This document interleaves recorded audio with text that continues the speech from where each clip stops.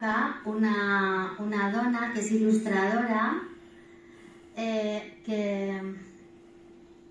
que és valenciana, de més, és d'Elda, d'Alacant, i resulta que ella, quan era jove per circumstàncies de la vida, als 15 anys se'n va tindre que anar a viure en sa abuela.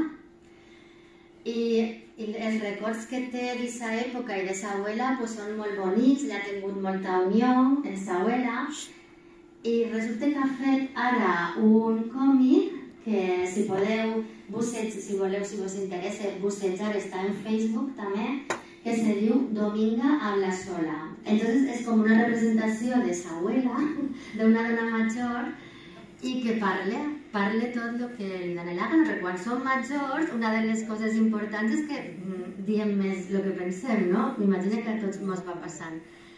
Entonces, mm, Vale, bueno, així un poquet eh, parlem a vegades dels aspectes positius de fer-se major. Mm, crec que no és el que jo volia.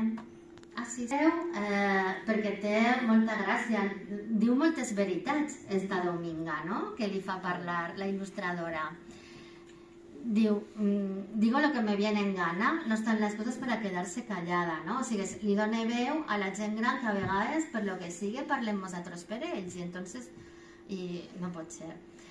Mm, eh, y parle de cosas positivas de hacerse gran. Pues lo bueno de envejecer es que por fin tienes tiempo de cambiar el estrés por, por el placer.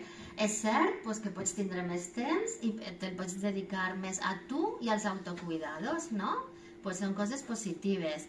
Eh, a veces no puedo dormir porque no tengo con qué soñar, ¿no? La importància, així sempre parlem eh, quan, en qualsevol edat, la importància de tindre projectes, projectes vitals, no? O sigui, somiar en coses, fer coses, totes aquestes coses.